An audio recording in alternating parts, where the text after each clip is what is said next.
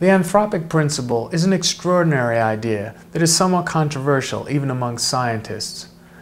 It's possible that the existence of life in the universe is not an accident, that the role of life in the universe is more central than we might imagine. The anthropic principle postulates that the presence of life in the universe is intimately connected with the properties and structure of the universe itself. There are several forms of the principle. The weak form of the principle is almost a tautology, saying only that we must observe properties of the universe that are consistent with the presence of life.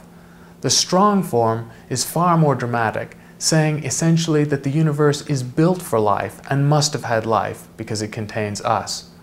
Notice that this idea, the anthropic principle, completely subverts the Copernican principle of mediocrity, where there is nothing special about us, our star, our planet, our galaxy, or our biology.